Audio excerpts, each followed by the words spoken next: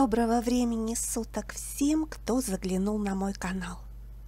Многие из тех, кто всерьез занимается коллекционированием орхидей и содержит различные экзотические представители семейства орхидных, несколько пренебрежительно относятся к голландским фаленопсисам. А я, как настоящая орхидейная плебейка, испытываю самые нежные чувства к обычным гибридным фаленопсисам – трепетно взращенным где-нибудь в далеком королевстве Нидерланды. Не скрою, что с течением времени мой круг орхидейных интересов значительно расширился, когда я открыла для себя обширный мир так называемых породистых орхидей из Азии. И когда в одно прекрасное время в моей орхоколлекции произошел значительный крен в сторону азиатских орхидей, приобретаемых исключительно подростками – мои некогда сплошь роскошно цветущие подоконники, перед которыми буквально столбенели случайные прохожие, превратились в сплошное зеленое море. И несмотря на прежний довольно высокий интерес к выращиванию и доведению до ума разума подростков азиатских орхидей, я как-то заскучала по былому цветущему орховеликолепию.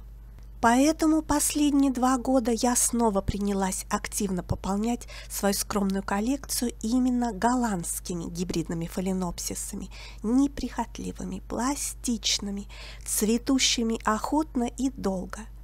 И сегодня в центре вашего внимания попадут некоторые из этих благодарнейших орхидей. Первым с удовольствием представлю вам вот этого орхидейного великана – Размах его огромных 30-сантиметровых листьев достигает практически полметра. Настоящий орхокондор. Пусть вас не удивляет, что его цветонос не прикреплен к держателю и находится, так сказать, в свободном полете. Фаленопсис располагается у меня высоко на оконной подставке, поэтому его цветонос и рос куда и как ему заблагорассудится. В этом году мои орхидеи цветут не так пышно по-видимому, тяжело все-таки переживает травму, нанесенную клещами и обильными опрыскиваниями ядохимикатами, но все же стараются радовать меня, невзирая на все перипетии их орхидейной судьбы.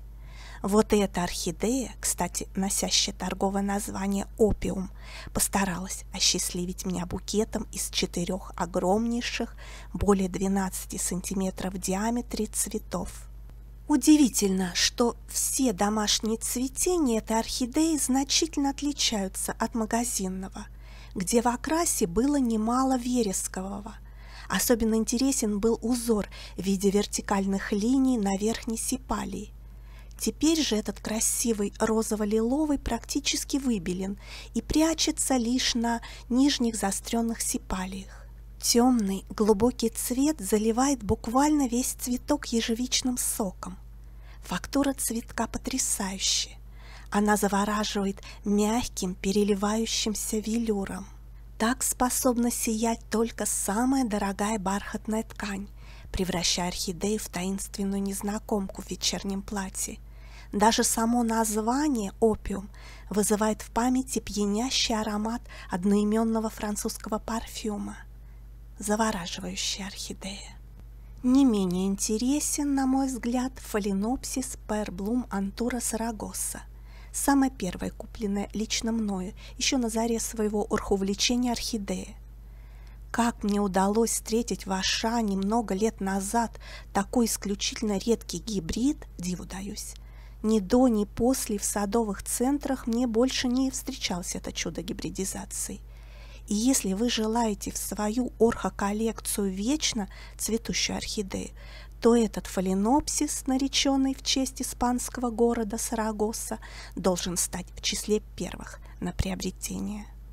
Этот неприхотливый сторожил моей орхоколлекции успел настолько зарекомендовать себя этаким непотопляемым лайнером, что в позапрошлое лето жертвенно занял самое опасное место на моем восточном подоконнике, где с утра нещадно припекало солнце, невзирая на все затенения.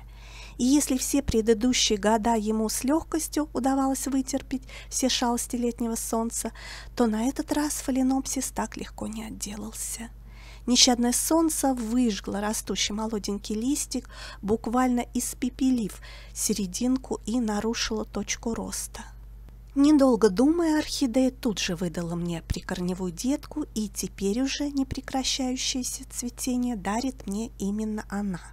Эффектным и броским цветение этой орхидеи назвать, пожалуй, сложно. Цветочки небольшие, едва достигающие в диаметре 6 сантиметров, но такой удивительной формы, стремящейся к треугольнику, что мало кому уступит оригинальностью. Раскрываются цветы орхидей не полностью и потому напоминают распускающиеся розовые бутоны, а небольшая волнистость петалей лишь добавляет сходства. Поражает плотность цветка с поверхностью, напоминающей хорошо выделанную кожу с красивым тиснением. Своим темным оттенком Сарагоса может посоперничать со знаменитой каодой. При определенном освещении орхидея выглядит практически черной. Только каода отливает спелой вишней, а переливы этой орхидеи больше напоминают цвет фиолетового вина – которая настоящий взрыв черных ягод ежевики и черники. Этот ягодный микс очень красиво оттеняют сахарные маски по краям петалий и сипалий и белоснежные латеральные лепестки с колонкой. Вот такая, можно сказать, орхидейная соперница каоды. Я рада, что они обе есть у меня в коллекции. Фаленопсис с торговым названием Red Cross «Красный крест» тоже был приобретен мною на первых стадиях формирования орхоколлекций, когда я действовал, руководствуясь простейшими принципами. Белое есть, розовое есть, сиреневое имеется, желтенькую купила, теперь нужна пестренькая. Пожалуй, не очень-то удачное приобретение, потому что за эти годы нам никак не удалось нарастить с этим фаленопсисом приличную ботву. Орхидея упорно предпочитает растить корни и пускать цветоносы, а более четырех листиков ей выдать так и не удалось. Цветы орхидеи, правда, очень симпатичные, стремящиеся собрать тонкий шелк петалей в такие изящные складочки – Кристальную искрящуюся белизну цветка украшает любопытный рисунок пятен, складывающихся на верхней сипале и петалиях в изображение креста, который сияет всеми оттенками пурпурно-маджентового. Как и у любой другой пятнистой орхидеи, раскраска каждого цветка индивидуальна – Интенсивность и величина пятен зависит от многих условий – температуры, времени года, освещения, но этот уникальный крестообразный узор всегда строго прослеживается на каждом цветке. Губа же орхидеи щеголяет легкими медовыми мазками, россыпью оранжевого конфетти и своими теплыми оттенками смягчает холодную цветовую гамму цветка. Сейчас, конечно, огромнейшее количество пятнистых орхидей, но нельзя сказать, чтобы Red Cross не смог составить им достойную конкуренцию. А вот эту орхидею трудно упрекнуть в скудности листвы и нежелании долгое время обходиться без цветения. Фаленопсис с морским названием Немо выпускает свои цветоносы один за другим, как подводная лодка торпеды – у меня на канале есть небольшое видео, в котором я с любовью отзываюсь об этом гибриде. Симпатия моя, надо сказать, с тех пор нисколько не угасла. Да и кого может не радовать орхидея, цветущая с таким завидным постоянством? В отличие от предыдущей орхидеи, фаленопсис немо довольно крупное растение, снабженное вытянутыми листьями, достигающими в длину 15-20 см и длиннющими цветоносами с цветами 8 см в диаметре. Сейчас мало кому по душе прожильный рисунок фаленопсиса – но в цветке этой орхидеи он очень красиво расположился на сипалиях и прекрасно гармонирует с почти монохромно окрашенными петалиями. Самые красивые оттенки имеют свеже распустившиеся цветы. Здесь на палитре мы видим канареечно-желтый, покрытый малиновой вуалью, и фуксиевый фестиваль в разгаре на петалиях. Спелой брусникой щеголяет губа орхидеи с неоновым кончиком – Словом, вся эта орхидея – торжество яркости и цвета. Со временем насыщенность красок уходит, подобно морскому отливу, но свисающая гроздь крупных цветов по-прежнему радует взгляд. Невероятно трудолюбивая и заслуживающая внимания орхидея. Следующий красавец – один из шедевров гибридизации – фаленопсис с неожиданно для всех зловещим названием «сакрифайс» – жертвоприношение. Может быть, и расплывающийся по всему цветку анимоновый цвет напомнил кому-то жертвенную кровь на выбеленном солнце камне у ацтеков. Мне, признаться, не хочется, глядя на этот прекрасный цветок, задумываться о таких тревожных ассоциациях. Поэтому для меня это в первую очередь сладкий сливочный пломбир, щедро политый вишневым сиропом. В отличие от многих орхидей, теряющих свою привлекательность по мере цветения, когда краски орхидеи тускнеют, сакрифайс является счастливым исключением. Ему безмерно идут эти сдержанные приглушенные тона цвета розовой базиновой ягоды. Лишь по краешкам цветка по-прежнему пламенеет насыщенный цвет рододендрона. Поверхность цветка схожа с шелковистой атласной тканью, дарящей самые приятные тактильные ощущения. Размер цветка не может не вызвать восхищения. Его диаметр превышает 10 сантиметров, и это еще одно из неоспоримых достоинств этого гибрида. Недаром производители частенько формируют из него так называемый каскад, выгибая цветонос плавной аркой – я покупала свой сакрифайс именно такой конфигурации и очень сожалею, что упустила время, чтобы и в домашнем цветении придать цветоносу форму дуги.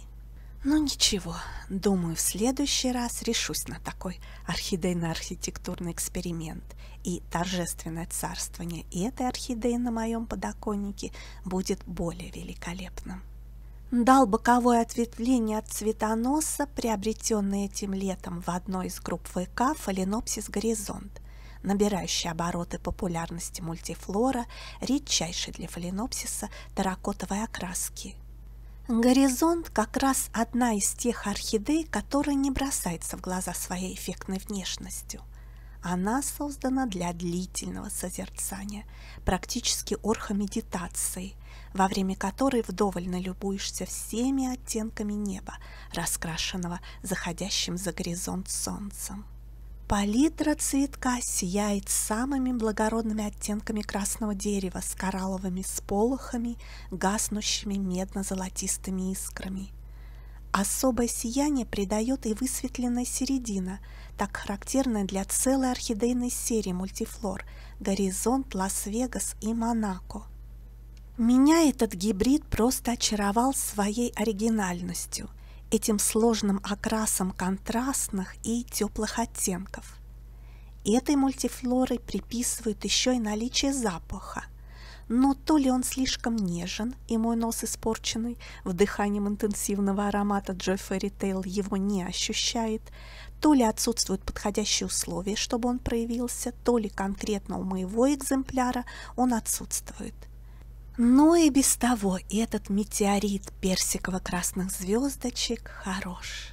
Мне очень полюбилась эта орхидея, которая не в пример тому же Лас-Вегасу обладает более сильной жизнестойкостью. Ей тоже пришлось столкнуться во время пересылки с некоторыми трудностями, но она их с успехом преодолела. И если красота Лас-Вегаса просто бросается в глаза, то прелесть этой орхидеи нужно оценить, вглядевшись в эти сложные переходы цвета и сияние малинового шиммера.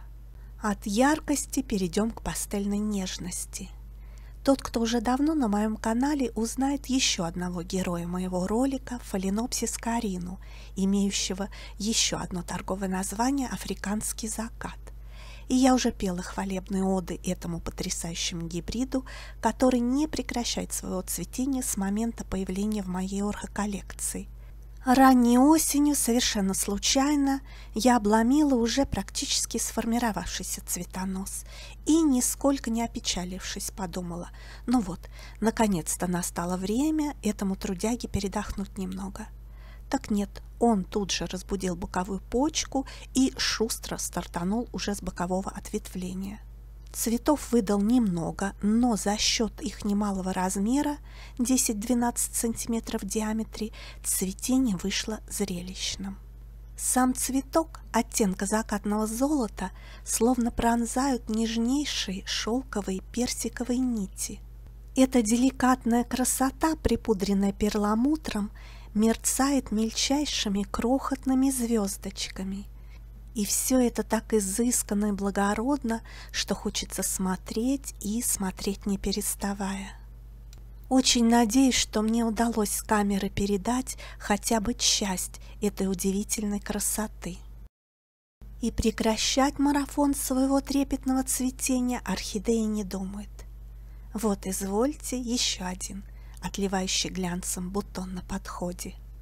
Вскользь упомяну еще одного чемпиона в орхоцветении, мою орхидею из пенька Чармер, стойко не желающую сдавать свои позиции, предпочитающую наращивать цветонос и раскрывающую все новые и новые цветы, пленяющие пятнистой и яркой расцветкой.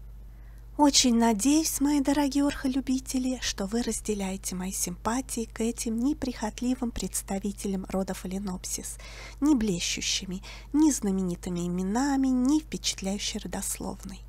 Но все же это самые первые орхидеи, с которых начинал, пожалуй, каждый орхолюбитель, а первая орхидея, как и первая любовь, рождает в душе самые трепетные чувства.